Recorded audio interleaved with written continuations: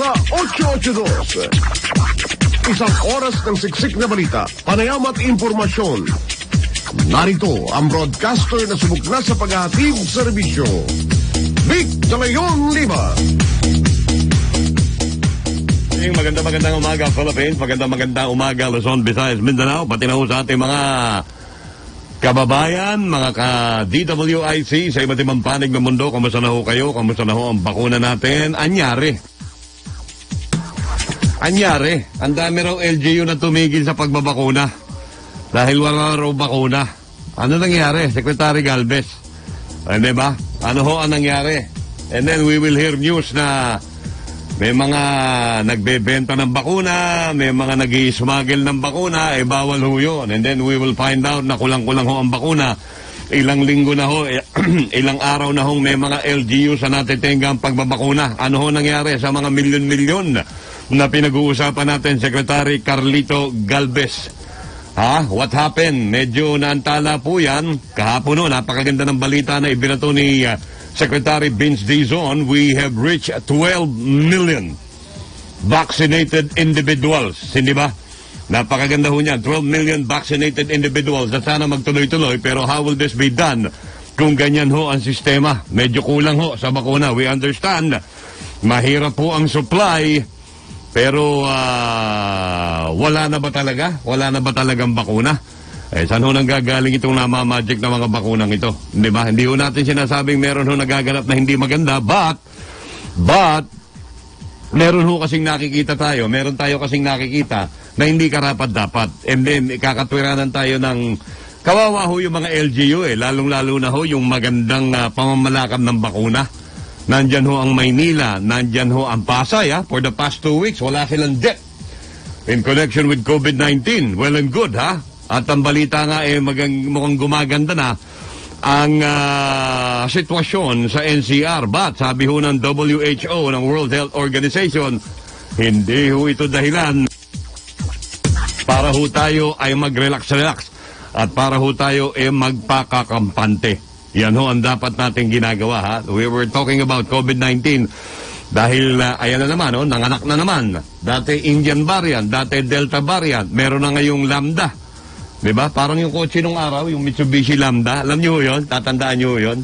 Yung mga kasabayan ng Macho Machine, yung Toyota Macho Machine, yung Isuzu Gemini, hindi ba? Mga kotseng ganyan, hindi ba? Na, nanganganak ho eh. Nanganganak ho itong mga variant na ito and we still don't know kung ano ho ang epekto ng mga bakuna natin at the present dito ho sa mga bagong variant na ito. Kaya medyo ganun pa rin ho, yung pa rin ho ang number one doon, yung pag-iingat, yung protocol. Yung pong ah, hindi pag, ah, ano, hindi ah, pag-aalis ng mga sinasabing face mask, face shield, physical distancing, hugas ng kamay at tigit sa lahat ang bakuna. Magandang umaga, Philippines. Ako po si Big Leon Lima. Ito po ang serbisyong lobo sa 882. Ah, naririnig po tayo sa napakaraming bahagi po ng ating kapuluan. At syempre doon sa YouTube, sa mga, ano ba yung mga iba? Ah, YouTube, ah, Instagram, oh, ha? Oh, sulat mo nga dyan, ha? Di ba? Eh dito sa Bulkang Tali, medyo nag-aalboroto rin. At kahapon nga, eh, malaking balita itong sinasabing fish kill. Eh ano ba ang, oh, mas matindi raw yung lambada, sabi ni Atty. Topacio. Hindi, oh, iba yun, iba yun. Lamba- Lambada ba, Atty. Topacio, yan ba yung kada weekend ginagawa mo? Hinihiwalay mo yung puti sa dikolor. Naipon kasi yung mga lambada mo eh. Yung ba yun? Nasa linya ho natin, si uh, Bureau of Fisheries and Aquatic Resources sa Calabarzon, si Director Sami Malbas. Director Malbas, magandang umaga po, si Vic Lima. Magandang umaga po sa Sir Vic. Uh, Opo, dito po, dito po sa DWIC. Kamusta po ang ating ah, mga kailugan diyan sa surrounding Taal Volcano? May fish kill daw. What happened? Doon po sa mga kabubukas lang kasi ng mga radyo nila, ang mga hindi ko nakarinig kahapon sa balita ninyo, ano po ba sitwasyon? Um, opo, kahap, kahapon nga po ay uh, mayroon pong reported na um, fish kill Hmm. no, doon sa um, Dandang Talisay, Talisay, Batangas. Mm-mm. At ang uh, reported na um, operators affected ay um, anim Opo. na mayroong kabuang uh, 18 units na fish cage. Mhm. Mhm. Doon sa 18 na yun, 7 ang para sa bangus at ah, 11 naman ang para sa tilapia. Mm-mm-mm. So ang ang kabuang ah, volume na affected for bangus ay um, 22.5 metric tons Opo. at yung tilapia naman ay ah, 86.5 metric tons. So ang Mm. kabuuan po nun ay nasa 109 Opo. metric tons. Napakarami. Ang, ang estimated value naman po nito ay ah, mga nasa 9 million pesos. Opo, napakarami po nito. Ano po naging kadahilanan nito, Sir Sammy? Um, base po sa aming pagsusuri ng kalidad ng tubig o yung um, water quality na analysis Mm-mm. Kasi nagkakandak po ng regular uh, water quality monitoring ang BFAR.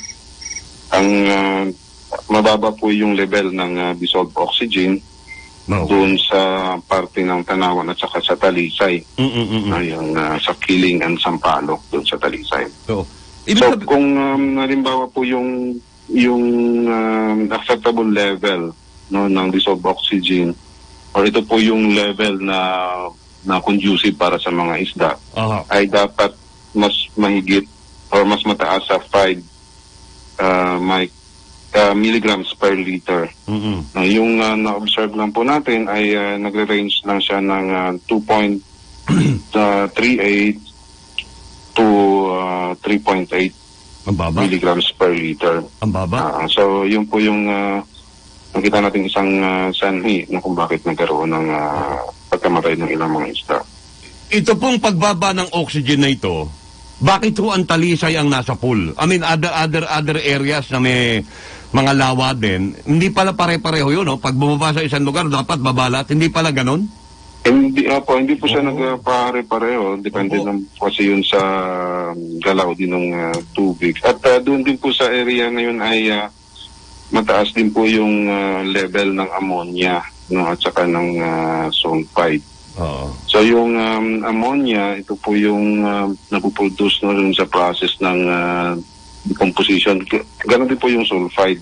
Mhm. No, yung mga organic matters na nasa ah, da, nasa lawa ay uh, nagdi-decompose Yeah. at uh, in the process po ay um, nag nagko-consume sila, nagko-compete sila dun sa paggamit ng ah, dissolved oxygen. Alright. Kaya po bumababa Oho, yung oho. level ng dissolved oxygen. Wala hong kinalaman ito sa bulkan. Wala pong uh, kinalaman no, yung uh, yung uh, vulkan kahit kahit kasi kahit po hindi po putok yung vulkan ay uh, May ganong insidente. ay mayroon pong mga insidente po. Alright. Now, the problem is, ibig sabihin, yan pong mga isdang yan sa lugar na yan, how can we monitor that? Na yung mga dinadala sa Metro Manila or dinadala sa mga local pamilihan po sa Batangas, eh hindi po nanggagaling yan. In the first place, pwede ho bang kainin yung mga isdang yan? Ano ang pwede at ano ang hindi pwede? Yung pong patay na na isda, no, hindi na po pwedeng ka- kainin yun Oo. at uh, hindi na po yun dapat uh, Kainin. makarating sa palengke. Opo. At ang atin namang pong uh, local government units at mga operators Yun ang ay um, mayroon na pong arrangement dyan tuwing uh, may, may mga ganong insidente. Aha. Kinukolekta po lahat ng mga um, uh, patay na isda Oo. at dinadala po yan sa mortality pit Ah. para ilibing. So bawat ba- bawat bayan po dyan ay mayroon pong uh, mortality pit Oh. no, na pag may mga namatay na isda, kinukolekta po at uh, doon po ililibing. Oh, hindi pala Opo. pwedeng hindi pala pwedeng gawin pagkain ng mga hayop ito, no? May tinik eh. Um, hindi na po inaano kasi para mas mabilis po yung pag-dispose ay uh, Correct. kinukolekta na lang at uh, dinadala sa sa uh, mortality pit. All right. So, Pero po yung mga nahuling isda na buhay, yun. um, yun po ay uh, safe po yung kainin. Safe kainin yun. Kahit nanggaling Opo. dun sa lugar na yon sa may aberya. Opo. Opo, Oh. opo. Ano-ano hong isda mga naapektuhan? Of course, number one ang tilapia. Kasarap ng tilapia Opo. eh. Lalo na isasabyado Ang- mo. Ang na-report reported lang po ay uh, bangus ang tilapia. Oo, yung mga tawilis, maliputo, walang ganon ha. Mga, mga alimango, po. ipon. Oo. Apo, kasi nasa labas naman po sila so they can swim. Diba, no? Dito sa area na to ay mababa yung uh. Oo, oo, oo. They can swim uh, freely no papunta sa maghanap sila ng area na Papalayo, mas no? uh, Safe. mataas. Oo, oo, oo. Ah, okay. Yung bang asupre, hindi nakaka-apekto sa mga isda yan, Director? Well, wala po siyang, sa mga literature namin binabasa, Wala. wala, po siyang ah, effect. Kasi pag, ang kanyang ano po ay, um, ah, pag halimbawa nakaano na siya sa tubig, ang nagkukos siya ng ah, acidity, no? Okay. Or naging acidic yung ah, tubig.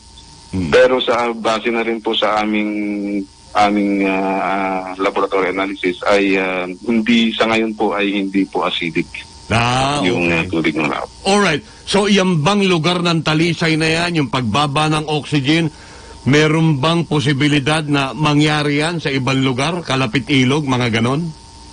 Um, posible din naman po. Posible Oo. din naman. Kaya po tayo nag, ah, nagmo-monitor Mm. ng ah, regular monitoring po ng ah, water quality, lalong-lalo na itong mga parameters na ito. Yung Oo. ah, dissolved oxygen, ammonia, unsulfide, Oo. at ah, marami pa pong ibang ano, parameters. Oo. Ibig sabihin, doon sa lugar na naapektuhan itong uh, fish kill na ito, puro mga isda lang tilapia at saka bangus. Walang ibang isdang dayo, walang ibang isdang ligaw.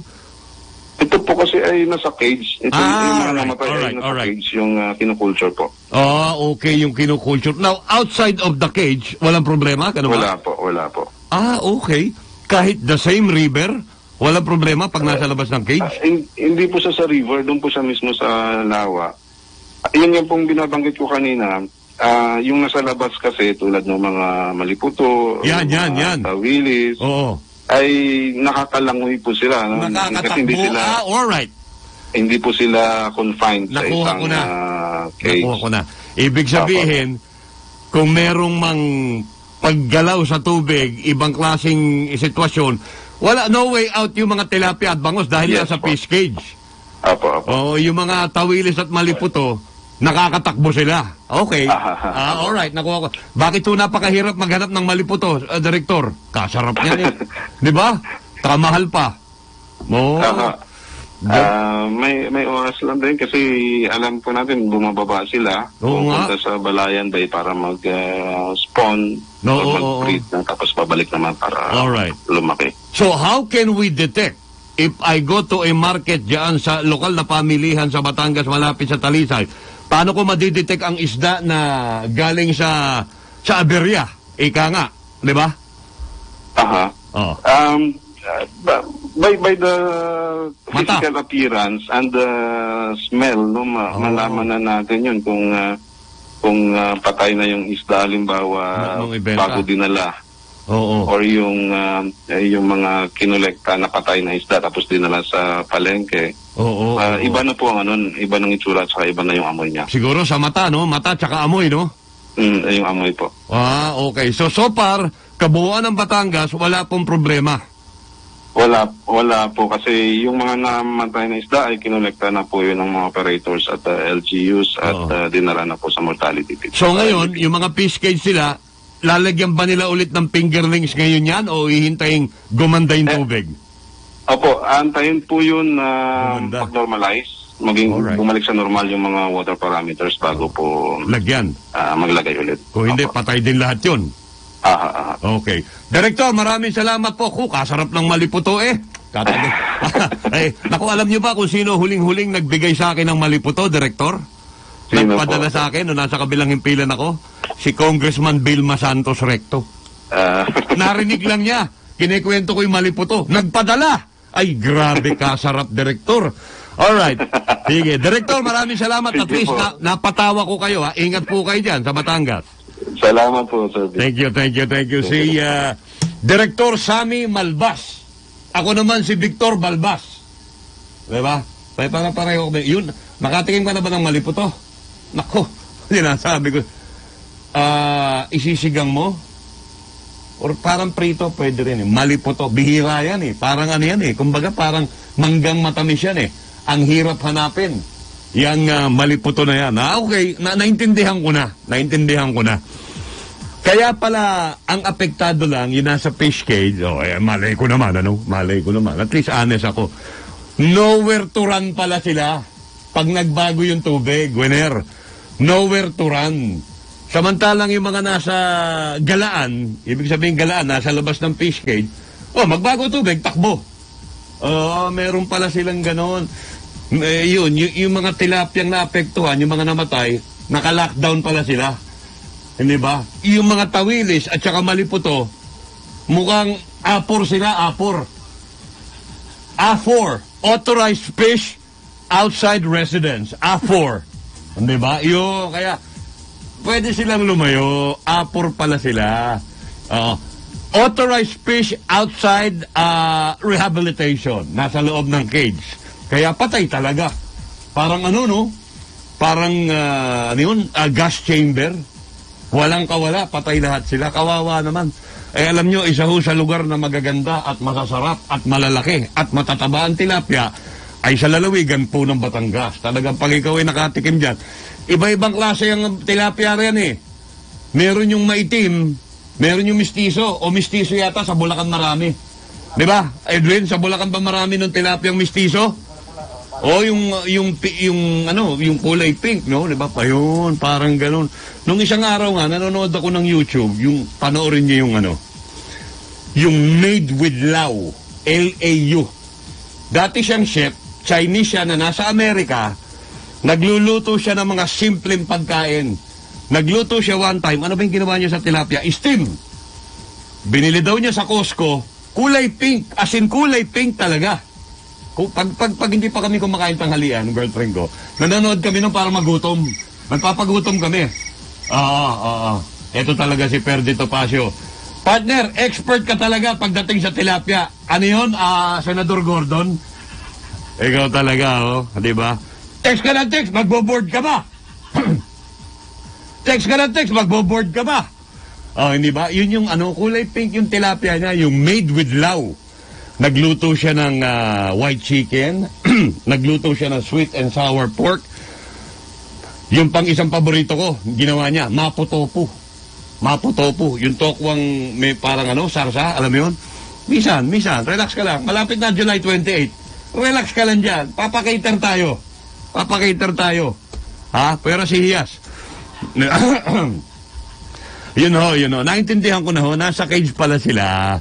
Kaya hindi ho mga... Well, seriously speaking, ang, ang, ang Bulkan Taal po, eh, muli na naman nag-alboroto kaninang alas 5, ha? I think, alas 5, no? Hindi ko makita score, yo. Ah, by the way, doon po sa mga NBA fans, game number one today between the Milwaukee Bucks and the Phoenix Suns na pinangungunahan po ni Chris Paul at uh, nakamonitor po ang ating himpilan dyan sa game 1 ng NBA na yan. At mamaya, sasabihin ko sa inyo ang score, hindi ko lang makita. Na, ayun, ayun, ayun, ayun. 62-52. Tama, 62-52. Sino lamang? Ah, Verde. Milwaukee. Phoenix. Alright, sampu po. Sampu ang lamang ng Phoenix Sun. Hindi ko makita, nagre-reflect yung salamin eh. Eh, ni Bale. Ah, mamaya ho, i-update namin kayo ha. Huwag ko kayong alis. Marami pa ho tayong pag-uusapan ngayong araw na ito. Kukuha po tayo ng update mula dyan sa, ah, na naman, eh, pag-alboroto ng ah, Bulkan Taal. And by the way, alam nyo, ayoko nang itakin sana. Ayan, ayan, ayan! 62-52 with uh, 10 minutes, 17 seconds to go. Palagay ko, second quarter yan. Palagay ko, second quarter yan, di ba? Ah, ayoko nang banggitin sana, pero nadag- nadagdagan na naman winner, yung namatay dun sa C-130 Hercules uh, plane crash. Nadagdagan 53 ba? Kung hindi ako nagkakamali, 53. Hindi ba? At ah, talaga nakakalungkot. Dun ho sa mga nakitang mga remains ng mga sundalong namatay, nahihirapan po ang mga nagsasagawa ng DNA dahil talagang super beyond recognition ho eh. Sunog na sunog ho yung mga katawan eh. Hindi ba? At ah, ngayon, ang hinihintay ho siguro ng mga pamilya, eh, ito hong mga benepisyo. Napalagay ko naman eh, and I'm sure, hindi ho pababayaan ni Pangulong Rodrigo Duterte ang pamilya niyan. Pagdating ho sa ganyan, alam nyo, malambot ho ang puso ni Pangulong Duterte, di ba? Uh, much more with uh, Secretary Delphine Lorenzana. O, doon naman po sa mga... Alam nyo, ang ayoko lang, kagaya nung narinig ko isang kamag-anak kanina, yung bang mga ganyan, kailangan panghanapan ng napakaraming papeles? Ano ba ang aano dyan? AFP Finance, yata mag-aayos niyan eh. Kailangan bang ganyan eh? Hindi ba manifesto is enough? Ay, hindi ko alam ha, hindi ko alam. Nagtatanong lang ho ako. Kasi oh, alam nyo, the more papers na hingin, the more red tape, the more prone sa corruption eh. Alam mo, I should know ha, I should know. Wala ho akong tinutukoy ha, pero that was a long, long, long, long, long time ago. Iba na ho sistema ngayon. Meron ho kasi sa mga opisinang yan, oh, gusto mong mapabilis. Oh, ito porsyento. Mga ganun ho eh. I'm not saying it's today. It is a long, long time ago. Wala na hong ganyan ngayon. Sana wala hong ganun. Yun ho bang ang daming papeles na hinahanap? Parang yung bang manifesto, I don't know. Hindi ko alam kung ang C-130 ay may manifesto. Kasi minsan yan, pag nung kumukover kami nung araw, C-130, media, media! Oh, maluwag pa. Sino pa gusto sumabay? Mga ganun. I don't know if, if they have the time to, to, to put it in, in the manifest. Hindi ba? Sana ho, wag na hong pahirapan yung mga kamag-anak. Wag na ho natin dagdagan yung pagdadalamhati po nila na nawalan po sila ng pamilya. Miyembro ng pamilya. Yung isa, narinig ko, yung kapatid niya or uh, boyfriend niya, ikakasal daw sila dapat. 25 years old, corporal. Batang-bata. Ang huling sabi raw eh, huwag kayong mag-alala, babalik ako mamatay man. Yeah, ay, ay, ay, andito yung pangalan eh. Sinulat ko eh, nakalimutan ko eh. Ah, yung mga ganon, nakakalungkot. Huwag na ho natin dagdagan yung kanilang pagdadalamhati. Eh, bilisan na ho natin yung, yung ano, yung pagbibigay ng benepisyo. Di ba? Identify naman ho kagad yan eh. Kung sino man ho yung mga yan eh. At pal, ah, sa, ang sabi ho sa pinakahuling report, yun daw hong black box dadalhin pa ng Amerika para pag-aralan. Busisiin kung ano hong tunay na nangyari. Marami ho ang mga kwentong lumalabas, marami ho ang mga ah, what do you call this? Ah, iba-ibang ah, istorya, iba-ibang pahayag. Pero ang sinasabi po, it is in good condition, yung C-130, yung piloto is a season pilot. May babaeng piloto pala, winner. May babaeng piloto. Season pilot, so parang malaking katanungan ho talaga.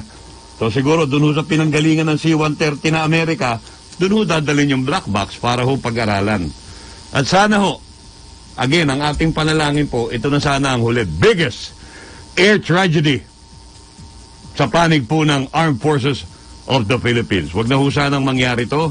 At ang pakiusap po natin, huwag na ho natin pahirapan yung mga kamag-anak. Ibigay ho kagad yung benepisyo. One way or the other kasi, di ba? Aminin man natin hindi. Yung bang huwag nyo na silang pahirapan, ibigay nyo na kagad yung benepisyo. Ah, kung ano-ano mang dapat na benepisyo yan.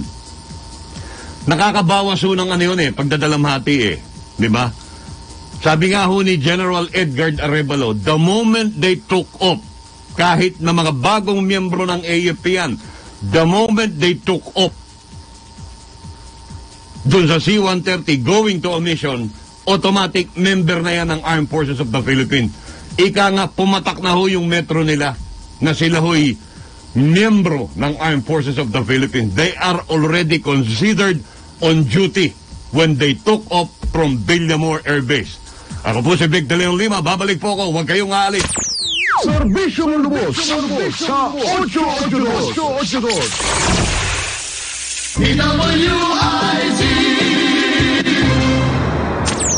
Serbisyong lubos sa 882. NBA update, 13 points up by the Phoenix Suns with 7 minutes, 40 seconds to go in the third quarter. Top fight, but it seems that the Milwaukee Bucks ay hindi po makadikit sa labing tatlong kalamangan ng Phoenix Sun. Malalaman po natin yan. Too early to say, 7 minutes, 43 seconds to go. Third quarter, yan po ang NBA update, 57-70. Okay, nandiyan na po sa linya natin. Ito ho, gustong gusto ko makausap eh. Pero yeah, may meeting kahapon. Very good, very good. Uh, AFP modernization. I wanted to talk to somebody with the likes of uh, Congressman Rupi Biazon. Everybody knows, anak po ng militar yan. Hindi ba? Congressman, magandang umaga po. Si Vic Lima. Yes, Sir Vic. Uh, good after, good morning at uh, sa lahat ng mga tagapakinig at tagapanood. Uh, Lo- lo- long time no talk, sir. Long time no talk. Namimiss ko na kayo, Ah. pati tatay nyo. Oo nga, medyo matagal na nga. Oh, Congressman, nakakalungkot, ano? Tumatawa tayo ng paunti-unti, pareho tayong anak ng militar. Nakakalungkot po. I mean, you know, any update on the walang kamatayang matagal-matagal ko nang naririnig na AFP modernization, kung? Well, kung pag-uusapan natin yung AFP modernization in general, no, uh, umaandar naman. Uh, Umaandar. in fact, isa sa mga ano natin, no, nakita na recently yung pag-deliver ng mga brand new helicopters. Ah, ito, yung uh, yung Black Hawk. na Black Hawk helicopters. Yun nga lang, nakakalungkot din. Oo nga na eh. isa to dun sa mga insidente ng aksidente nangyari kamakailan kung saan anin na crew members ang namatay. I know. So as far as equipment is concerned, umaandar naman Umaandar. ang uh, modernization ng AFP. Yung mga Black Hawk ba, Congressman, brand new? Yes, brand new yun. Wala ba Ah, tayong quality yun check? Do we have Ah, quality sorry. check pagdating sa mga ganitong maski na brand new? Wala bang quality check yan? Testing, testing? I'm sure meron, di ba? Ah, meron yan. Meron. Ah, ma- madaming dinadaan ng proseso bago i-deliver yan eh, to ensure na talagang good working condition, Opo. lalong-lalo na yung mga brand new equipment na nabili natin.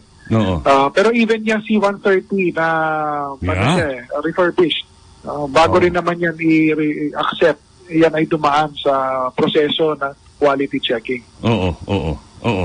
But but but how can we ano, how can we uh, make it fast? I mean, how can we upgrade the AFP modernization? I mean, you know, uh, nakakalungkot kasi isipin eh, biggest air tragedy sa Philippine Air Force.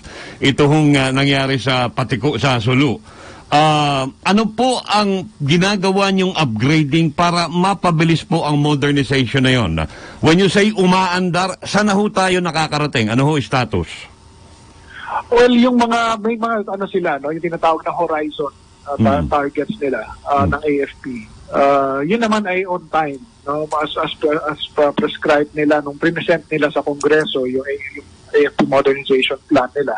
Mm. They are on time uh, dahil yung uh, appropriation naman na pinapalabas ng, uh, ng government Mm. ay tandoon din yung support. Although isa sa mga hinihiling nila na kung maaaring mabago yung procurement process. Okay. Ah, kasi kumisan yun ang nakakapagpatagal Oo. at ah, nababawasan din yung options nila. Eh, considering na specialized procurement ito, ang isang request nila magkaroon ng specialized procurement ah, process and law. Mhm. Uh, instead of just using yung uh, uh, ano yung general na procurement law natin na applicable to everyone. So isa lang yun sa mga hinihiling nila sa Kongreso na kung maaaring mabago para mas mapabilis pa. Mm, mm, mm, mm, mm. Kasi I'm sure doon naman sa mga training of pilots wala tayong problema ron eh no? Wala tayong question doon. It just so happen na well we're just doing this we're talking about this. Para ika nga eh hindi ba? Yung sana huli na ho yun sana huli na ho yun yung nangyari sa PAP Well, doon nga papasok din kasi tatlong aspeto 'yan ano, either ano yung yung possible options ng uh, isang accident.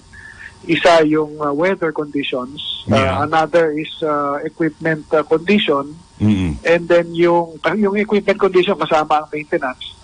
And then third, yung operator, yung Yeah. uh, training ng tao. Correct. So siguro kailangan ma-determine kung ano ba doon ang factors talaga na nag-contribute. Oo. Kasi ang alam ko sa C-130, Congressman, correct me if I'm wrong, it is an all-weather aircraft. At yan eh, maikling runway, kayang lumanding at tumikop yan eh. Tama? Yes, yan yung tinatawag na short take-off and landing ng Yeah. aircraft. At uh, tama, all- all-weather yan. All-weather yan eh. Uh, very re- reliable yan eh, na, I know. na aircraft. Design talaga para sa ganyang operations. Oo. Anyway, siguro i-update natin pag, pag pagsimula po ng Kongreso, Congressman, at uh, we will try to get in touch with you again and probably other members of the uh, committee na nag-handle po ng AFP modernization. Kawawa ho eh. As young as 25 years old, namatay beyond recognition and at saka sana ang pakiusap ko, Congressman, pukpukin nyo rin na siguro bilisan na yung benepisyo ng mga kamag-anak. Kawawa naman eh, di ba? Double whammy. Ah, yes. Double whammy. Ta- Tama yun. na kasi in the line of duty yung uh, nangyari. Right. no? Mga, they were for deployment. So, karapat-dapat lang siyempre na yung benefits ng mga sundalong yan ay maibigay right away. Mm-mm, mm-mm. Sige po, Congressman, thank you so much. Uh, stay safe. Regards po kay Daddy. Ah, maraming Idol. salamat. Paparating ko sa kanya. Apo, apo, apo. Thank you, thank you. God bless. Stay safe. Thank you. Si uh, Congressman uh, Rupi Biason, na, di ba? AFP Chief of Staff, Rodolfo Biason, the airpat. Di ba? Napakatikas hanggang ngayon, napakatikas pa eh. Di ba? Si uh, General Rodolfo Biason. Yun lang ho, yun lang ho ang ating hinihiling, ano? na maging maayos ho sana ang lahat. Ika nga eh, di ba, namatayan na nga, eh maging instrumento sana yung mga taong ah, makikipag-negotiate itong mga kamag-anak na ito na padaliin ang mga proseso. Ba? Ibig kong sabihin eh, sila po ba eh, hahanapan nyo pa ng ba- birth certificate ni Christopher Columbus? Hahanapan nyo pa ba sila ng birth certificate ni ni ni ni Ponce ni ni ba? Parang oh sino ho yung kamag-anak nyo rito? Okay, ganito ho gagawin natin. Siguro mag-prepare na lang ng template para sa mga ganon ano?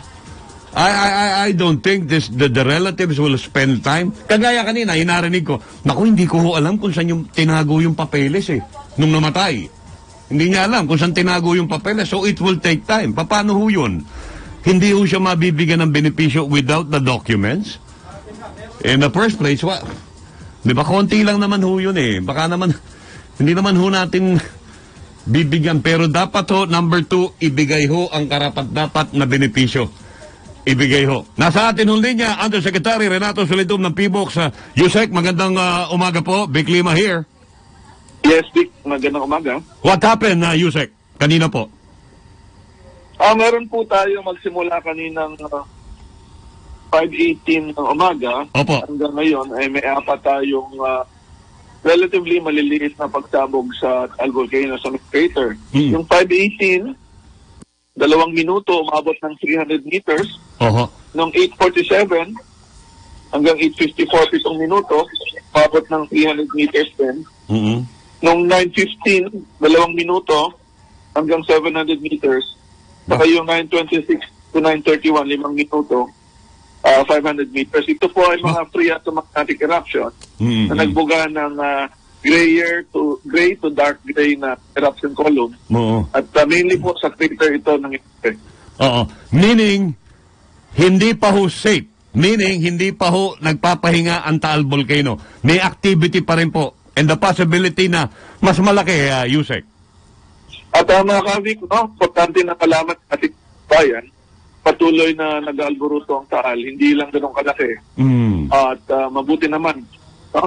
At yung ah, mga abo at bato ay nandun lang sa crater. Opo. Pero nandyan pa rin yung posibilidad na magkaroon mas malakas Yay. na katulad nung ah, July 1 Wow. na kailangan pagkingatan. Oo. Ibig sabihin, itong manakanakang malalaking pagputok na ito, hindi ho ito nakakabawas ng pressure.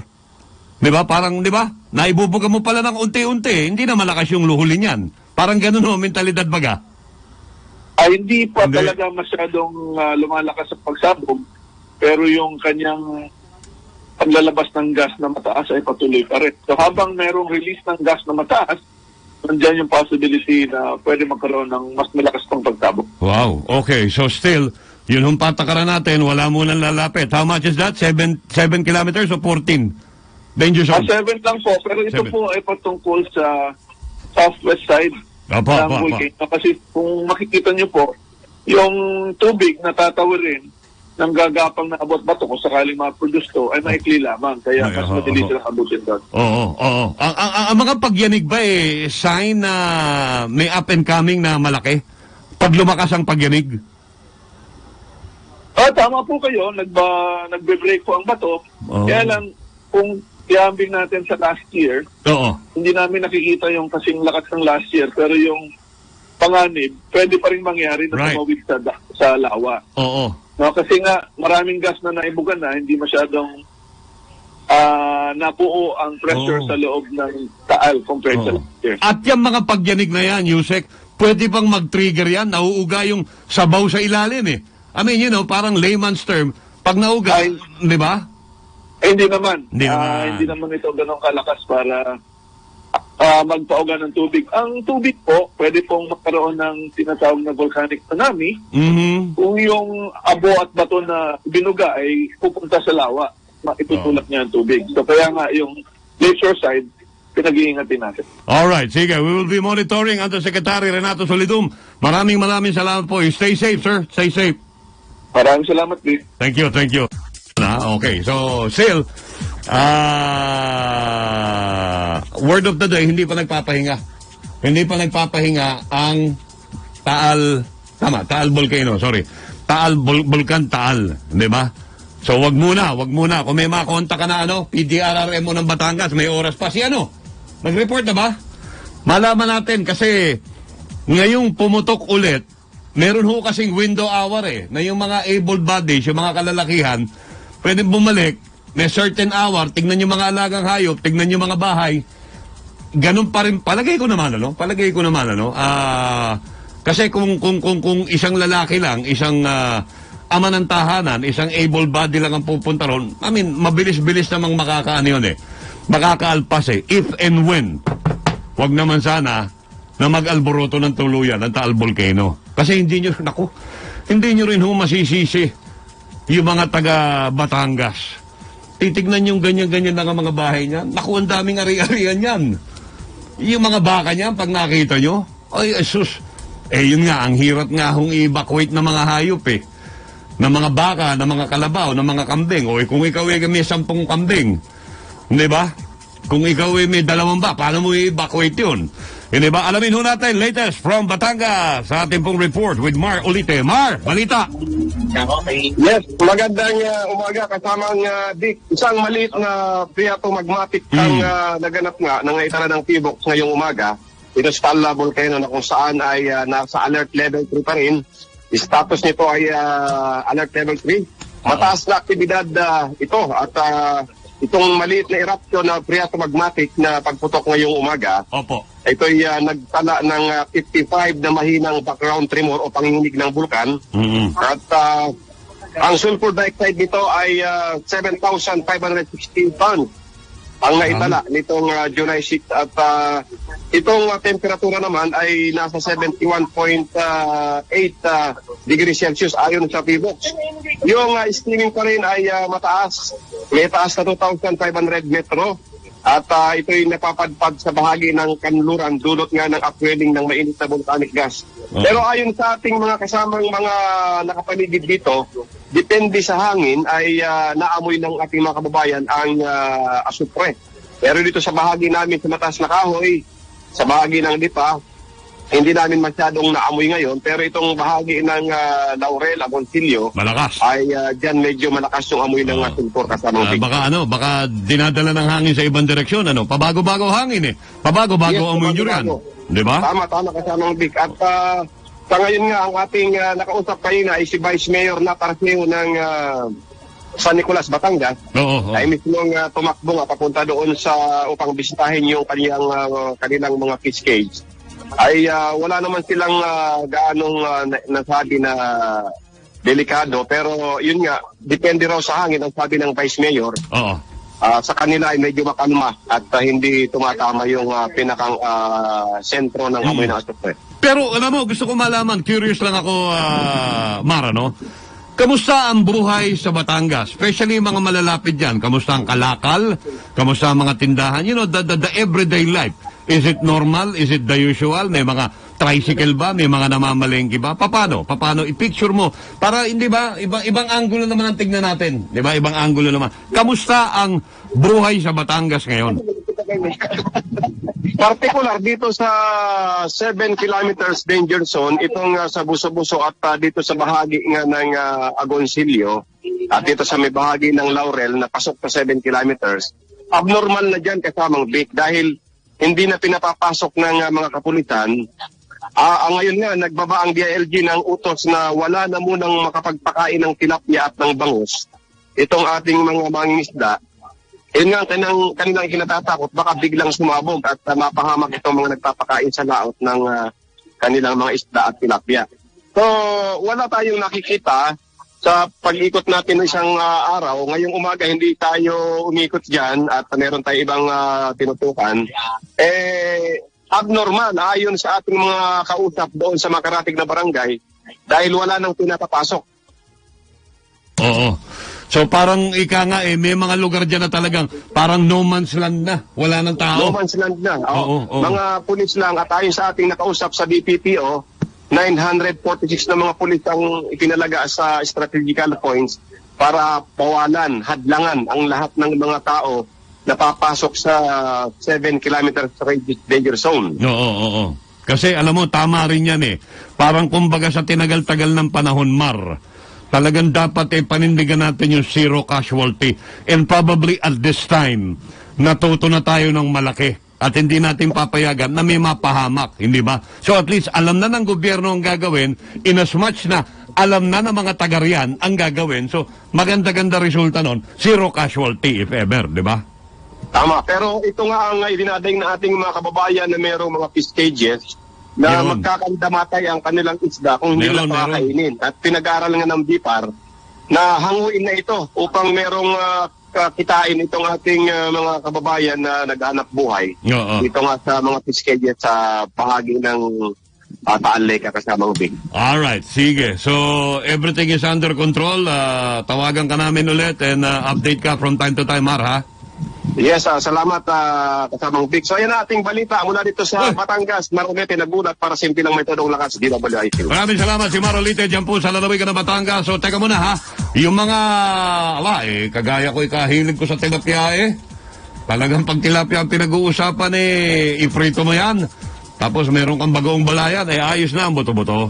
Di ba? O mag-ingat po kayo sa pagbili ng tilapia. Siguro, ah, hindi naman siguro makakarating ng Metro Manila yon ano? Eh, not only Metro Manila, but yung mga lokal na pamilihan, dyan po sa lalawigan ng Batangas, ingat-ingat po sa pagbili ng tilapia. Amoy-amoyin, pisil-pisilin, at tigit sa lahat, tignan yung kulay ng mata. Pati bangos, pati bangos, di ba? Dahil dalawa yan, pati bangos eh. So nothing to worry about tawilis, nothing to worry about maliputo, nothing to worry about other isda dyan po sa Batangas. Yung mga nasa fish cage lang ang medyo ah, nasa peligro, hindi ba? Yun ho mga nagkandamatay dahil ho dun sa pagbaba ng oxygen level nung bahagi ng tubig na yon. Alright, sige. So ingat-ingat po tayo.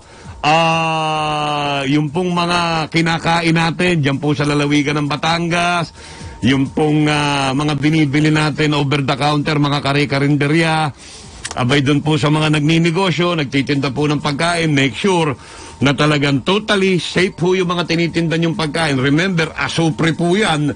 Hindi po maganda sa kalusugan yan, di ba? So ingatan po natin yung ating mga tinitindang pagkain at ah, hindi ba?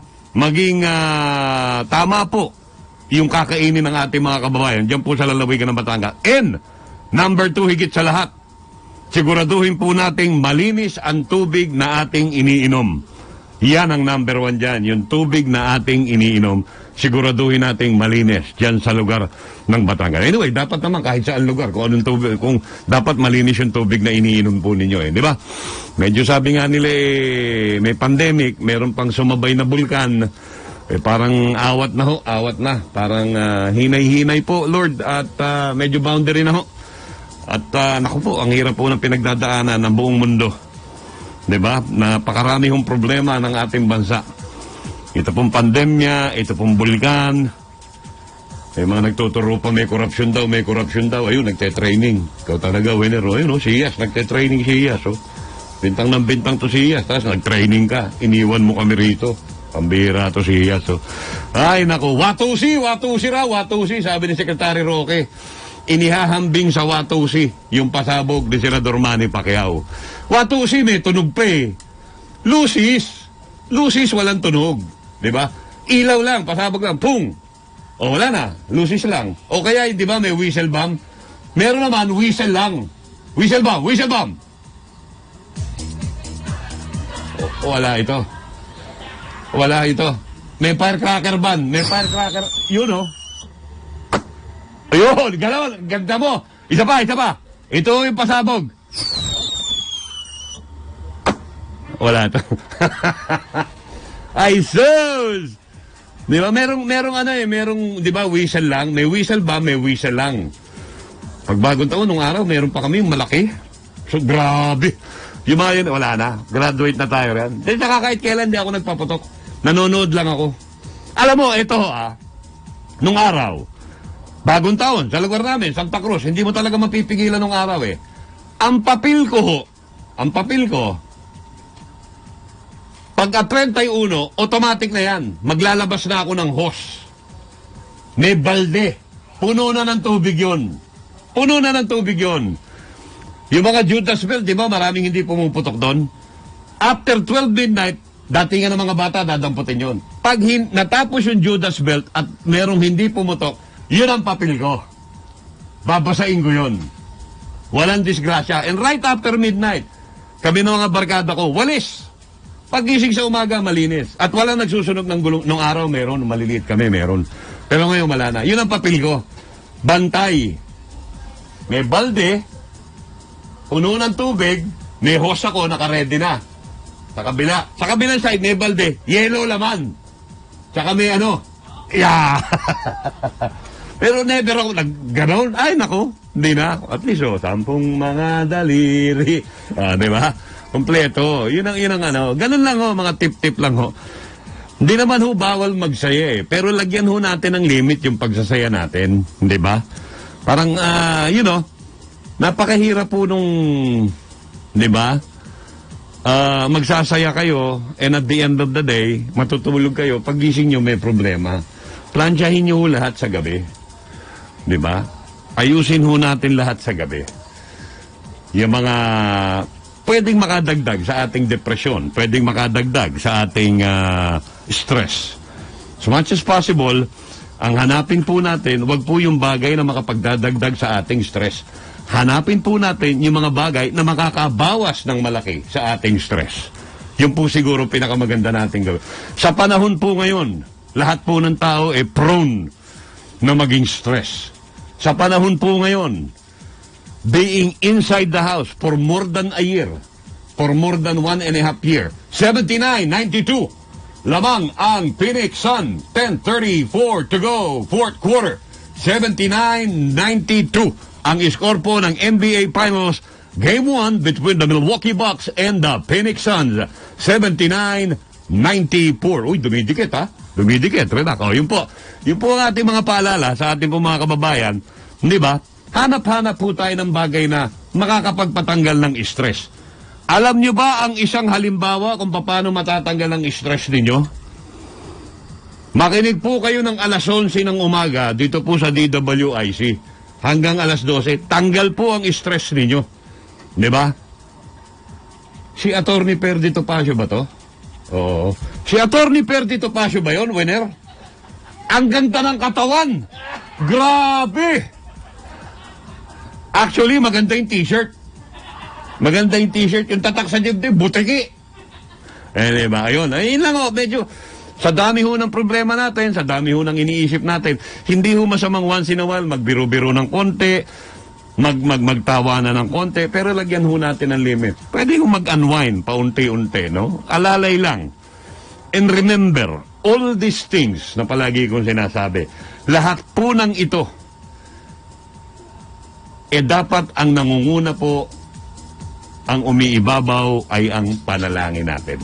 Yan po ang pinakamabisang paraan para ho tayo'y, di ba, makahulagpos po dito sa dinaranas nating wow. Sino ho ang may ayaw na lumabas? Wow!